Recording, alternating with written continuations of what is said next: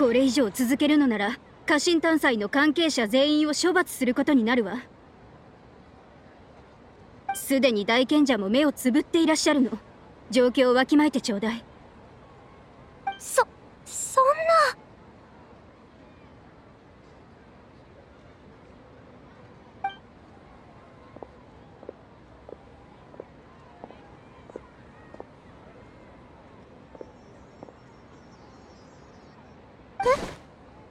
旅人私ためにそんなことしなくて大丈夫だよ。この人は教霊院の賢者なの。あなたまで巻き込まれたらどうするの？旅人？旅人いきなり何やってんだよ。もし教霊院の人に捕まったら今日一日が無駄になっちゃうだろ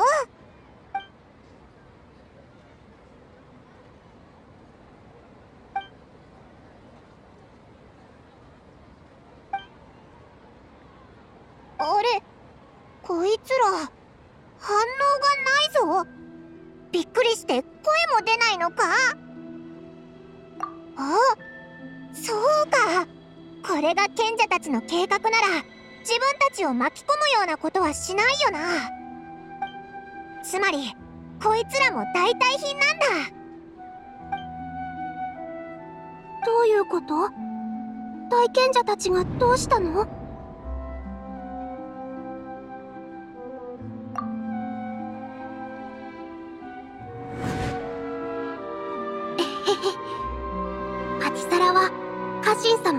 様を象徴する花だからね。でも残念ながら本当のパティサラは家臣様が制御されると同時に絶滅してるの。そうね。マハールッカ・デバータ様が家臣様を記念して作られたパティサラも結局はあの鮮やかな赤紫色を再現できなかった。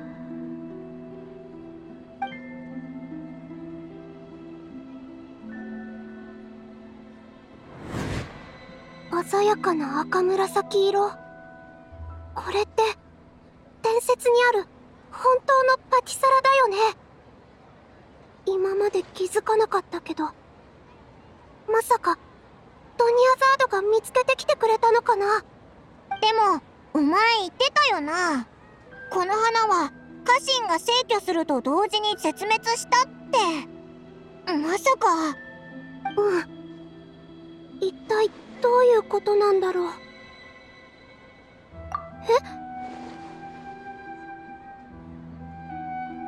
あなたたちなんか変だよ。でもわかった。やってみるね。う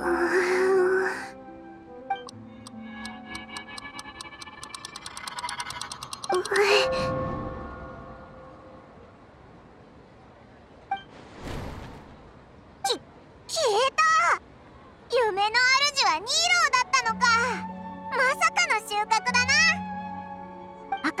紫色のパティサラはもうこの世に存在してない。つまりここの舞台を飾ることができるのはニーローの潜在意識以外ありえないってことか。ナヒーダが言ってた比喩を使うなら人々は皿の中に料理があると思うけどニーローは植木鉢の中に伝説のパティサラがあると思ったんだな。だからあの2つの花を見た瞬間お前はニーローが夢の主だって確信したんだろ？でも輪廻を終わらせるには夢の主に自我の意識を芽生えさせる必要があるんだよな。どうやってニーローに気づかせてやればいいんだ？私夢を見てるんだよね。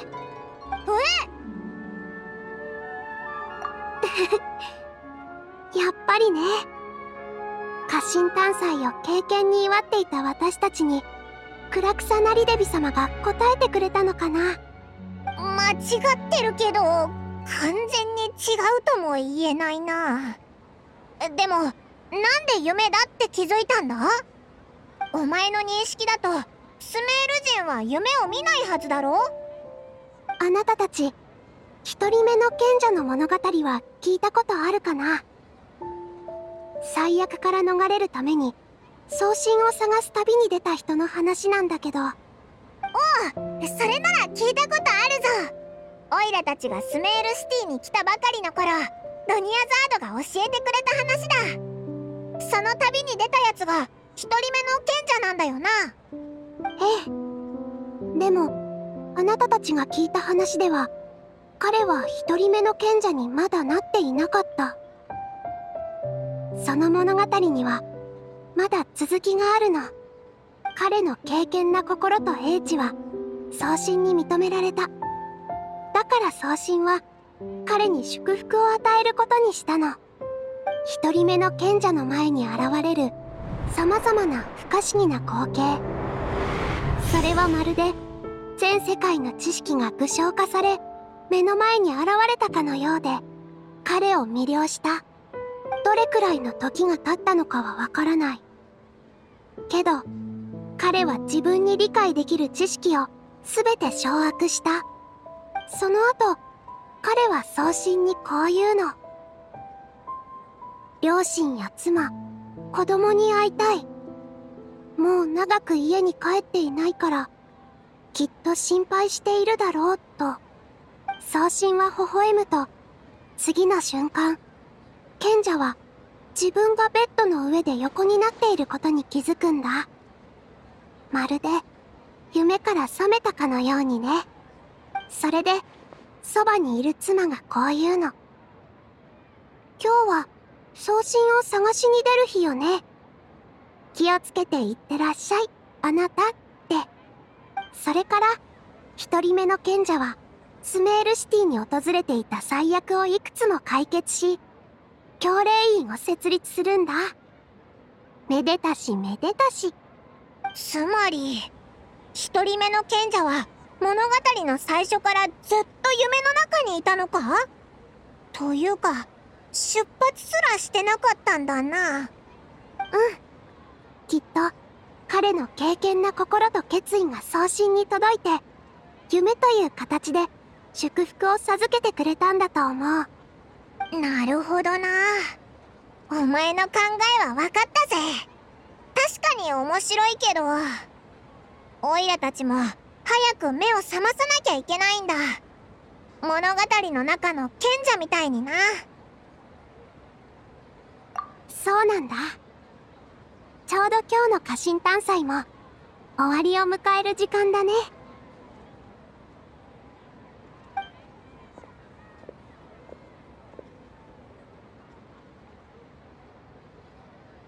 せっかく夢の中にいるんだから最後の家臣の舞は少し派手に踊ってもいいかな。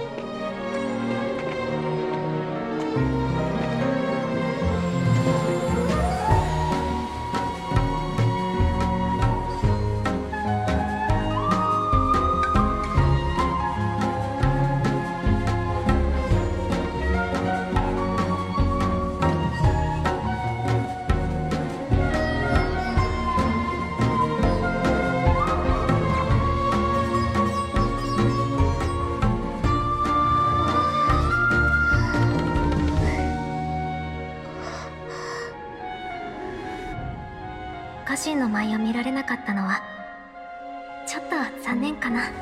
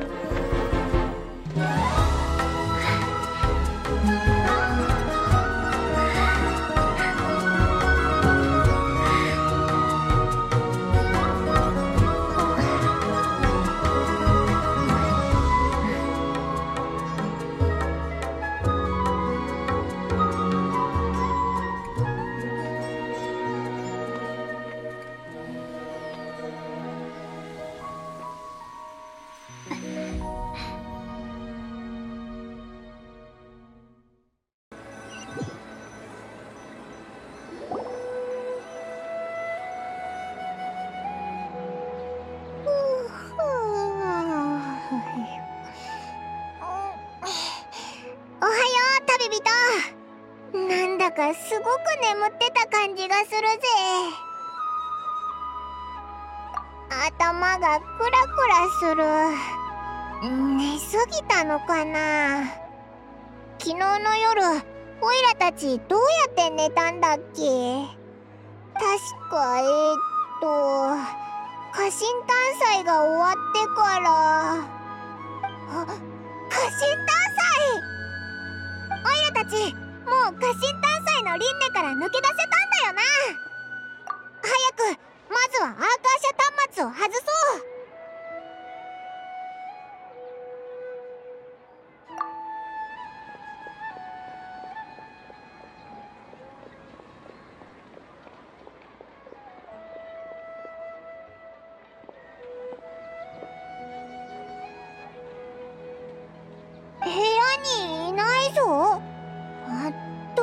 ことだ？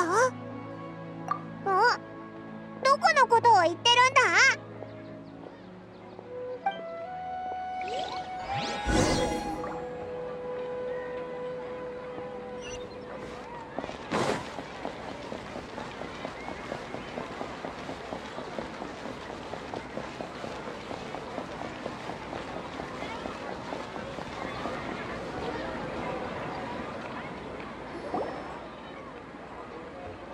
よくやったわね。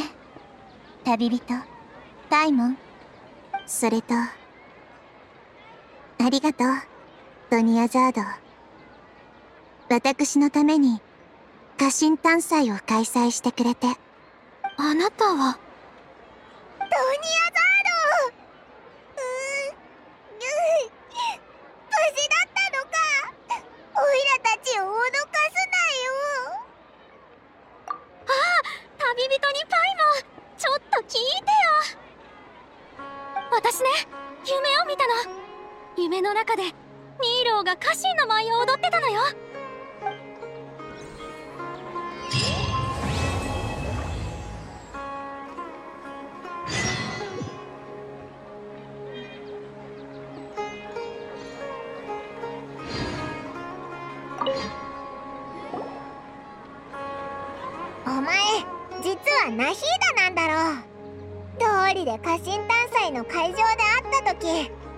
サリンの様子がおかしいと思ったわけだぜ。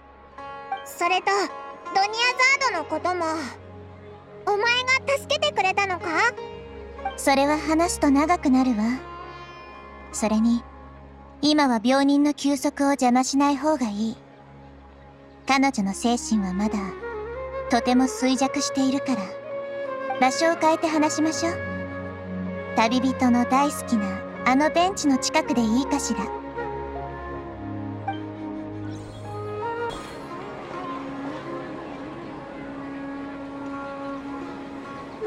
ドニアザードのことから話そうぜ。本当に無事でよかったな。ええ。家臣探査の最後の日。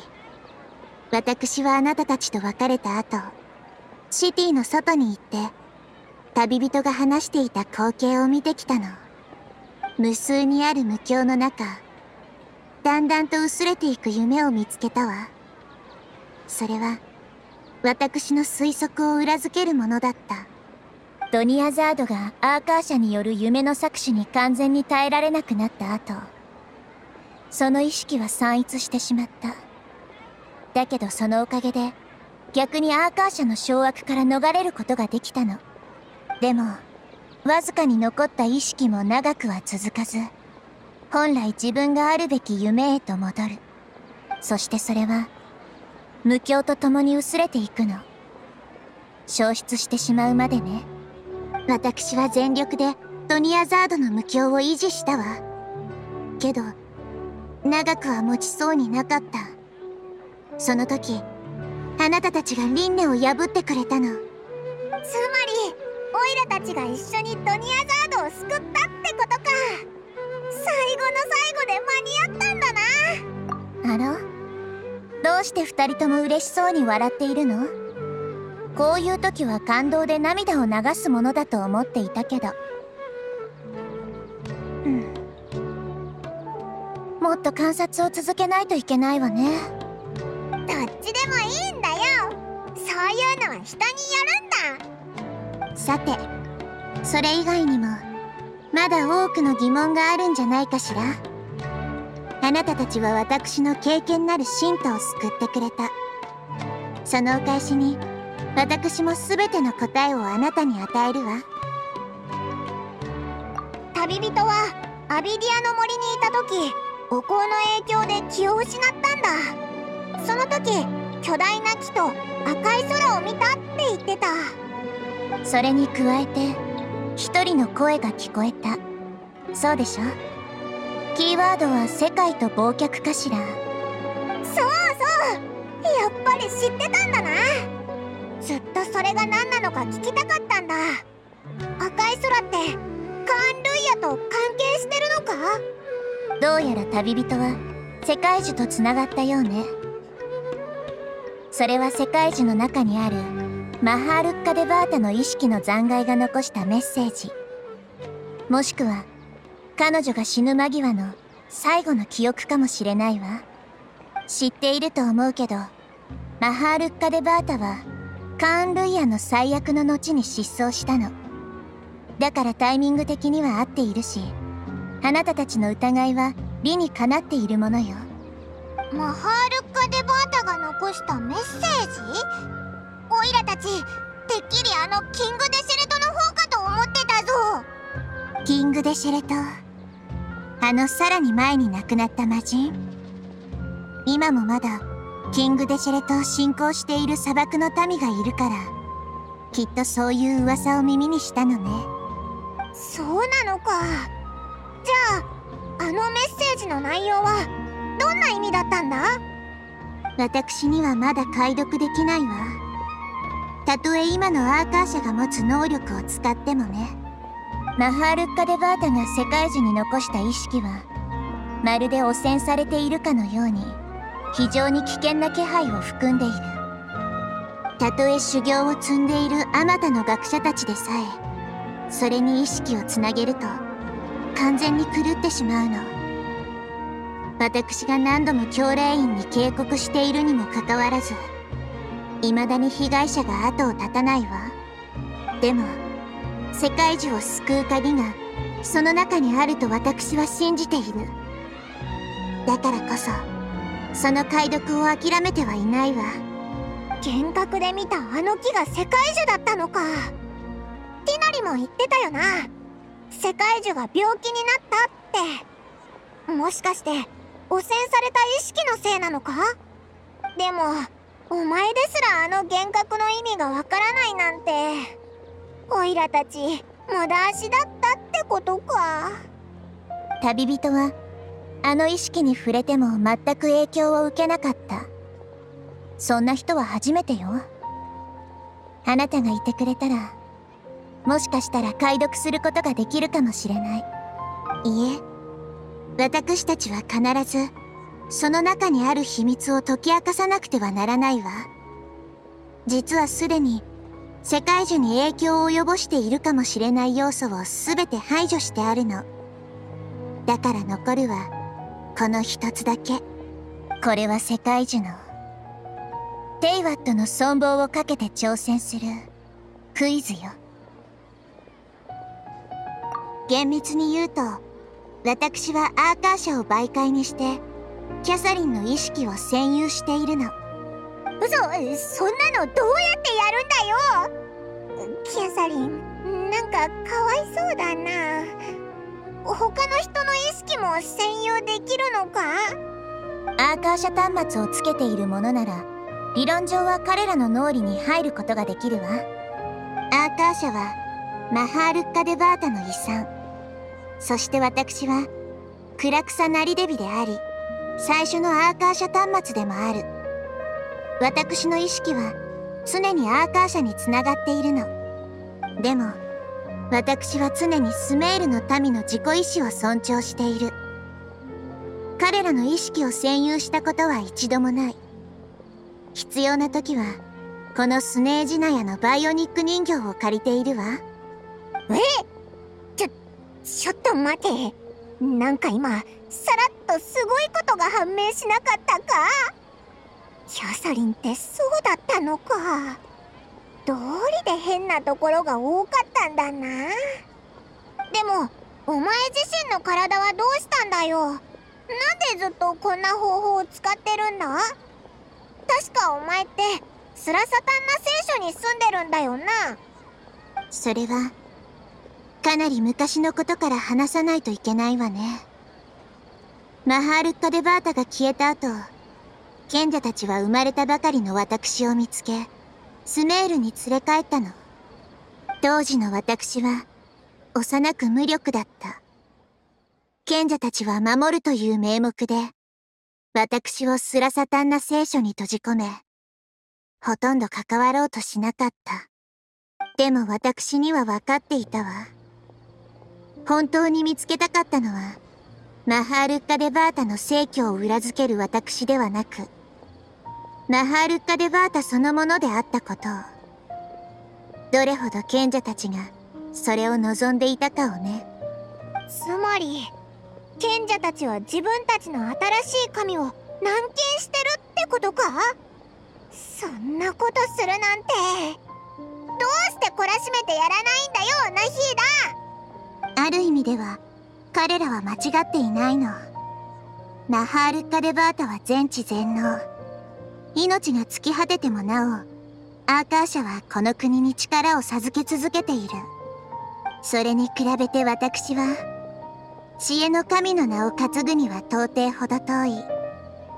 国を統治するにも教令員の方が長けているし私の存在にそれほど大きな意味はないの。そうそう。ナヒーダにはもう信徒がたくさんいるし。家臣探祭の日に参加した人たちもみんな心からお前のことが好きなんだぞ。そう言ってくれるなんてありがとう。でも実際意識をアーカーシャにつなげられる私には身体的な自由は必要ないの。私にとって世界中を救うことこそが使命であり最優先事項その方法を探しながら一人前の神になれるよう尽力するわ。時々知恵の神の責任を担って道に迷った民を導く。それだけで十分なの。教令員によるスメールの統治に大きな問題は一度もなかった。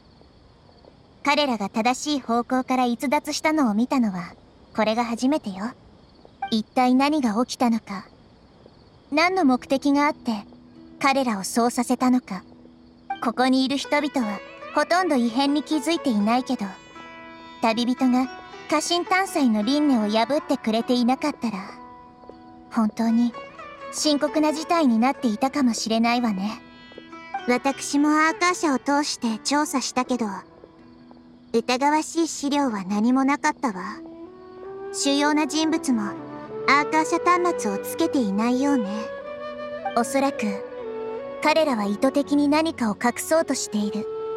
そういえばガンダルバー村にいた時一人の賢者がティナリをあるプロジェクトに誘ってたけどまさかそのことだったのかな？とにかく賢者たちの意図を調べそれを正して罰することを優先しなくてはならないわ。それと同時に藪をつついて蛇を出さないよう気をつけないと。アーカーシャのせいで夢を見ないことかしら。そうだぞ。こんな長い間誰もおかしいって思わなかったのか？気づかないのではなく気にしないの。根本的な原因は賢者たちによるミスディレクションよ。ミスディレクション？賢者たちは人々に夢を見ないことが理性と英知の表れでありスメール人の栄誉だと思わせているわ。けれど実際はただアーカー社によって夢が収穫されているだけ。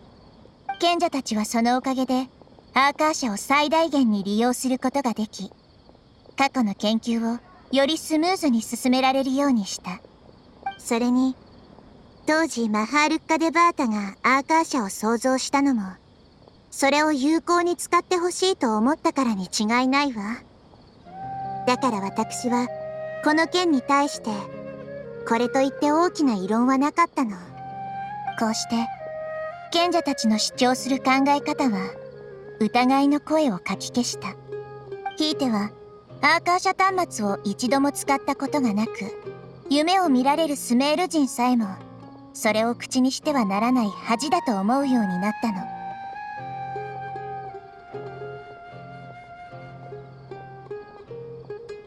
そう。私の回答が窮地者であるあなたたちに満足してもらえることを願っているわ。実はドニアザードの消えかかった無境を維持していた時私の精神力にも大きな負担がかかってしまったの。だから少し休まないといけないみたい。その間賢者たちの行動はそれほど心配しなくてもいいわ。家臣探査の輪廻のような大掛かりなことアーカー社が短期間で2度も行うことはできないから。寝てていいぞ。オイラたちが見守ってるから安心しろ。頼もしいわね。ふわこんなに疲れた誕生日は生まれて初めてだったわ。ん？旅人さんパイモン？私はどうしてここに？何か知っていますか？と無憂ってやつじゃないか？ほら無憂してる人を呼び覚ましちゃダメだって言うからな。オイラたちはあここを通りかかってお前が起きるのを待ってたんだ。そうだったんですね。うんそろそろメンテナンスの方を探さなければ。ああ大丈夫です。私はすぐに戻りますので。ありがとうございました。